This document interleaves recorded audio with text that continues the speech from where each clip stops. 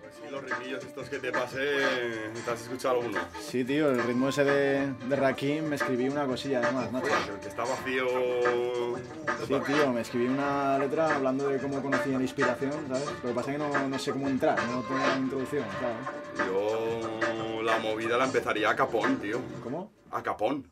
Cuando quería llegaba, no requería llamada. Por esa puerta donde días antes otras salían entraba Y así amaba, bueno así me alejaba De mis manías de pasar los días con cada día que estaba. Yo poesía la llamaba, para mí pensaba No voy a coger un tren que no se acaba. Pero me conocía y me daba lo que sabía que estaba siempre buscando. Y así conocí a mi amada. Dame tu tiempo y te daré una canción. Me dijo tú a mí llámame inspiración No había opción y desde entonces vive en mi habitación. Junto a mí, porque la métrica ya me enseñó más que cualquier profesor Es así, yo me lancé pero en vano. Me dijo quita, donde has visto que en la primera cita Ya estés metiendo mano, aún es temprano No sabes lo que tu voz necesita. Practica, aún no dominas el tono.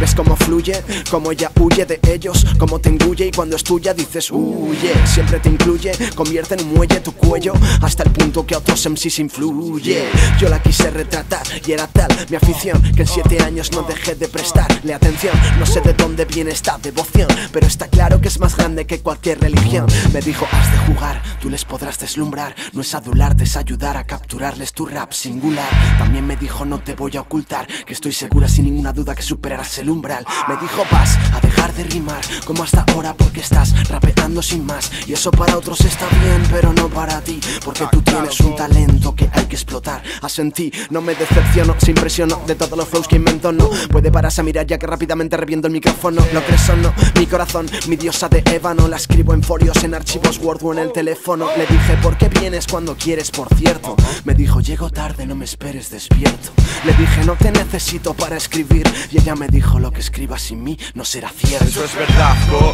eso es verdad Que te dijo aquella musa Lo que escribas sin mí no será cierto Pues era verdad, tío, sedúcela, ya no tienes excusa Lo que escribas sin mí no será cierto Está claro, ¿cómo?